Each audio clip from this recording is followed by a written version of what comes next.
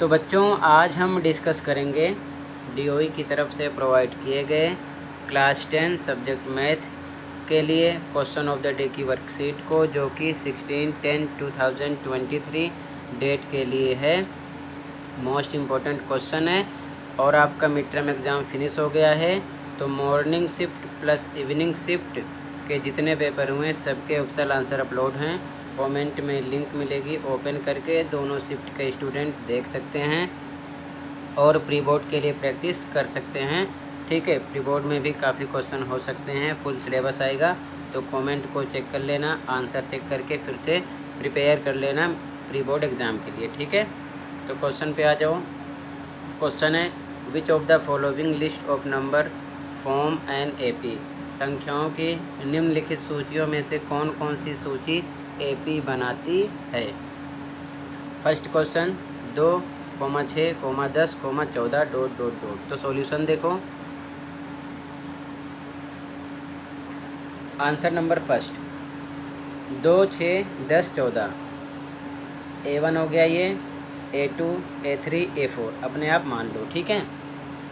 तो हम निकालते हैं डी डी क्या होता है? कॉमन डिफरेंस हिंदी में सारवंतर बोलते हैं, ठीक है? तो ध्यान से देखो, सबसे पहले हम क्या करेंगे? डी के लिए ए टू में से ए वन माइनस करते हैं। मतलब दूसरे पद में से पहला पद हम घटाते हैं। तो A two minus A one छः माइनस दो कितना आ जाएगा? चार।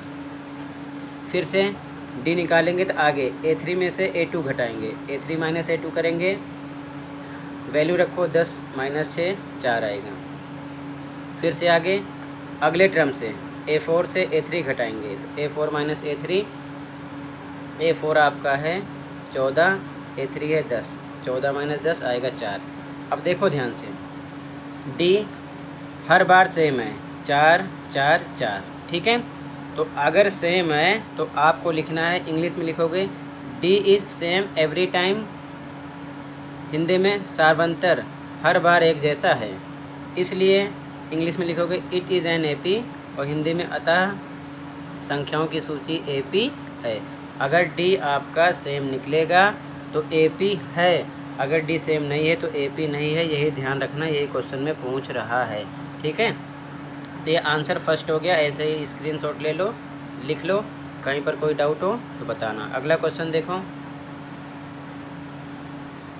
Question two zero comma two comma six comma nine solution देखो।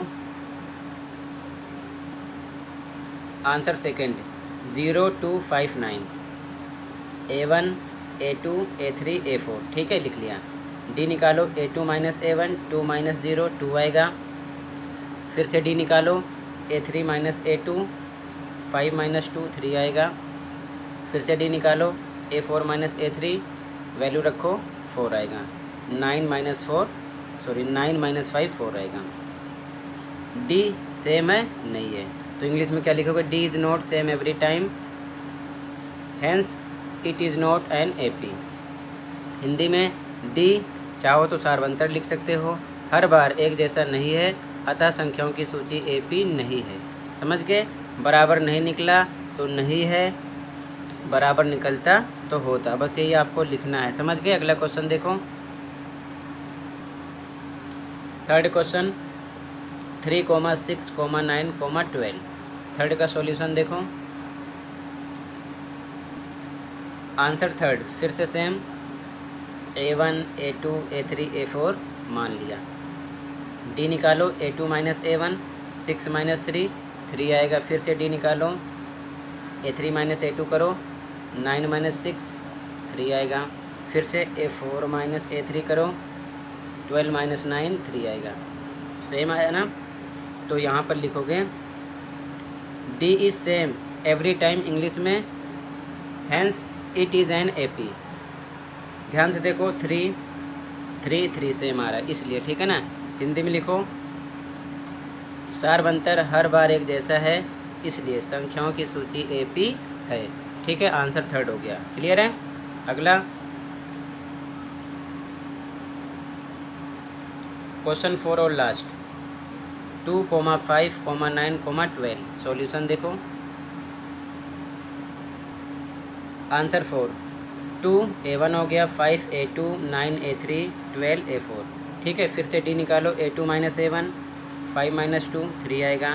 फिर से डी निकालो A three minus A two करो नाइन माइनस फाइव फोर आएगा. फिर से डी निकालो A four minus A three करो. वैल्यू रखो ट्वेल्व माइनस नाइन थ्री आएगा. तो ध्यान से देखो थ्री फोर थ्री सेम है नहीं है। तो इंग्लिश में लिखो D is not same every time so it is not an A P Hindi में डी हर बार एक जैसा नहीं है, इसलिए संख्याओं की सूची ए पी नहीं है। ठीक है ना? इसी के साथ ये वर्कशीट कंप्लीट कहीं पर कोई डाउट है तो कमेंट कर सकते हो। कमेंट में लिंक मिलेगी। मिड पेपर का सॉल्यूशन देख लो। और last year pre board paper का सॉल्यूशन देखना है विद क्वेश्चन पेपर तो वो भी लिंक पेस्ट है देख सकते हो। मिलते हैं अगली वीडियो में। Thank you for watching.